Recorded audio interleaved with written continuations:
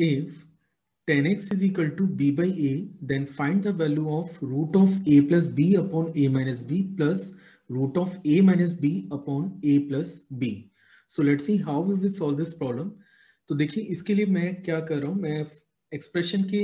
में जिस पार्ट की वैल्यू आपको निकालना है उसको पहले कंसिडर कर रहा हूँ and the part is square root of this is square root of a plus b upon a minus b. This is the first part. और सेकेंड पार्ट आपके पास है which is A minus B over A plus B के। और यही वो expression है जिसकी वैल्यू आपको निकालनी है। तो इसके लिए हम लोग क्या कर रहे हैं, मैं इस गिवन एक्सप्रेशन में I am just taking the LCM of the given expression और जब आप एलसीएम की बात करते हैं तो ये आपको मिलेगा A square minus B square के। और यहाँ पे आपको मिलने जा रहा है the term is A plus B this is A plus B and this is your A minus B के इस एक्सप्रेशन को अगर मैं फर्दर सिंप्लीफाई करूँ तो आप देख सकते हैं कि b से b आपका कैंसिल हो रहा है। न्यूमिनेटर में आपको 2a मिलेगा और डिनोमिनेटर की अगर अपन बात करें तो this is actually A square minus B square की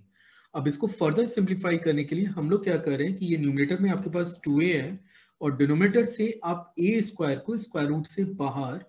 कॉमन कर सकते हैं। और जैसे ही आप ये काम करेंगे तो आप देखेंगे कि ये टर्म बनता है one this is B square upon A square के अब ये ए से ए आपका डायरेक्टली कैंसिल हो रहा है and the term you are getting two times of under root of which is one minus B square upon A square के अब आप क्वेश्चन को इजीली चेक कर सकते हैं कि which is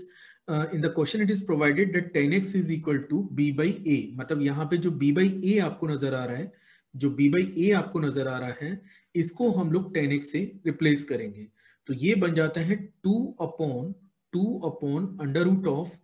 one minus B upon A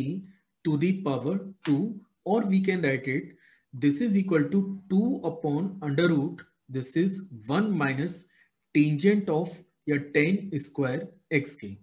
अब आप अगर एक्सप्रेशन के रिज़ल्ट को चेक करें तो वो कॉस के टर्म्स में कुछ आपको दे रखा है तो इसको फर्दर हमें सिंप्लीफाई करना होगा। हम लोग इसे लिख सकते हैं two upon square root which is 1 minus sin square x divided by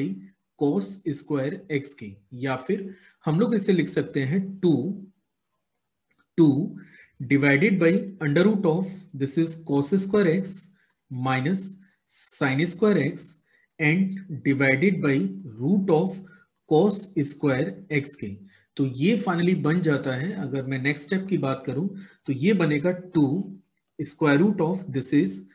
cos 2x because we know it very well that cos 2x is equal to cos square x minus sin square x चलिए मैं यहाँ पे लिख देता हूँ which is cos 2x is equal to cos square x minus sin square x के ठीक है और डिवाइडेड बाई आपके पास एक और टर्म है which is actually cos square x ये टर्म भी आपके साथ चल रहा है। इसको फर्दर अगर आप सिंप्लीफाई करेंगे तो ये बनेगा टू cos x, ये तो आपका न्यूमिनेटर का पार्ट हो गया। और डिनोमिनेटर में आप चेक कर सकते हैं this is actually equal to cos of two x के। And finally this is a part